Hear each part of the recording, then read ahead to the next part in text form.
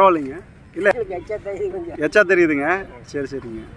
தமிழால் இணைந்த உறவுகளுக்கு வணக்கம். இந்த வாரம் குன்னத்தூர் சந்தையில் ஆடுகளின் தோள்கள் விற்பனை நடந்துட்டு இருக்கு இங்கே பாருங்கள் எவ்வளவான விதமான ஆடுகளோட தோள்கள் வந்திருக்கு.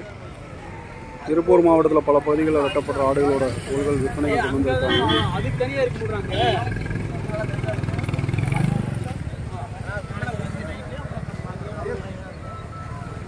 இலையிலையா பாருங்க அங்கங்கே நிறைய பூச்சி வச்சுருக்காங்க. ஆடுகளோட தோல். ஞாயிற்றுக்கிழமை நேற்று ஞாயிற்றுக்கிழமை வெட்டப்பட்ட ஆடுகளோட தோல்னு நினைக்கிறேங்க. திருப்பூர் பல பகுதியில் அந்தந்த ஏரியாவில் வியாபாரிகள் வாங்கிட்டு வந்து இங்கே ஒரு சில கொண்டு வந்து விற்பனை செஞ்சிட்ருக்காங்க. பாருங்க இதெல்லாம் செம்பிளை ஆட்டோட தோல். சும்மா மாலை மாதிரி பூச்சி வச்சுருக்காங்க.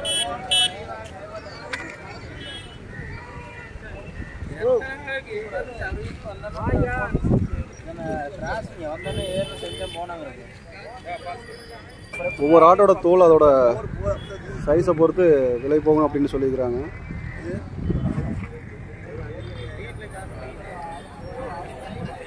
இங்கேயும் சுங்கம் கட்டி தான் இவங்க விற்பனை செய்யணும் போல தெரியுது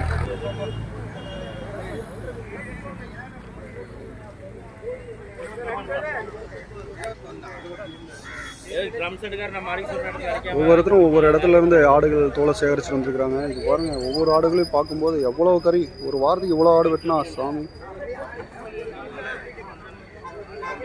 இந்த ஆட்டை வந்து உரிச்சு அதோட உடனே அதை தோலை வந்து உப்பு போட்டு அதை பதப்படுத்தணும் அப்படின்னு சொன்னார் அண்ணன் கிட்ட இவங்க எல்லாருமே இந்த வியாபாரம் கொஞ்ச நேரம் தான் நடக்கும் அப்படிங்கிறனால யாரும் வீடியோ கொடுக்கல அப்படிங்கிற மாதிரி சொல்லியிருந்தாங்க. இந்த ஆட்டோட தோலை பாருங்க நான் சொல்கிறேன் திருப்பி திருப்பி போட்டிருக்காங்க.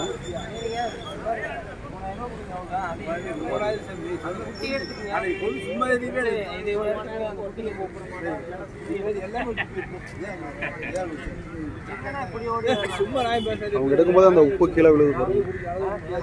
சும்மா பேசிக்கிறது ஐம்பது ரூபா மூவாயிரத்தி ரெண்டாயிரத்தி எட்நூறுவா அந்த மூணு ரெண்டாயிரத்தி எட்நூறு கொண்டு வந்து எண்ணிட்டு இருக்காரு மூணாயிரம் ரூபா கொடுக்குற விட்டு அவ்வளோதான் வேற ஓரியா இல்லை ஆகாது இரநூறுவா சேர்த்து கொடுப்போம் ஓடாது காசு ஏன்னா மூணாயிரம்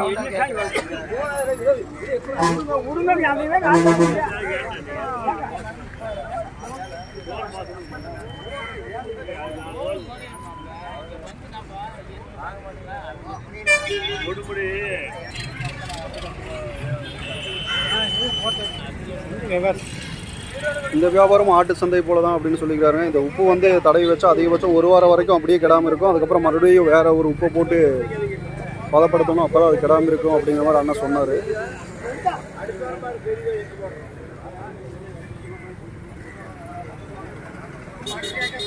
வாங்க நம்ம ஆட்டு சந்தை பதிவில் பார்ப்போம். பாருங்க குன்னத்தூர் சந்தைக்கு வந்தாச்சு. இந்த சைடு கோழி சந்தை செயல்பட்டு இருக்கு இந்த சைடு ஆட்டு சந்தை செயல்பட்டு இருக்கு அதை பற்றி பார்ப்போம். இதை பாருங்க. சத்தியமங்கலம் நாற்பத்தி ஒரு கிலோமீட்டர் பெருந்துறை இருபது கிலோமீட்டர் காங்கேயம் முப்பத்தஞ்சு கிலோமீட்டர் வருதா? வாங்க அப்படியே ஷார்ட்டாக ஒரு வீடியோ பார்ப்போம்.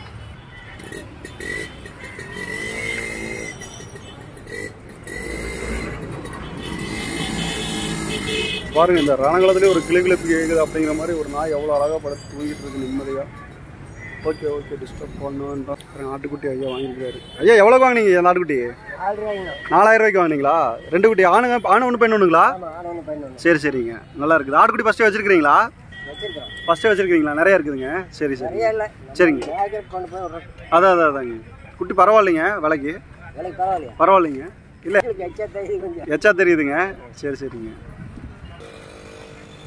இந்த சைடு பாருங்கள் தினசரி மார்க்கெட் சந்தை. இந்த கூட்டம் அதிகமாக இல்லை அவ்வளோக்கா. மீண்டும் ஒரு நல்ல பதிவில் சந்திப்போம் நண்பா. மறக்காமல் நம்ம சேனல் லைக் பண்ணுங்கள் ஷேர் பண்ணுங்கள் சப்ஸ்கிரைப் பண்ணுங்கள் ஆட்டு சந்தை அங்கே இருக்குது ஆட்டு சந்தை பற்றி தனியாக ஒரு வீடியோ போட்டிருக்கேன். அதே மறக்காமல் பாருங்கள் நன்றி.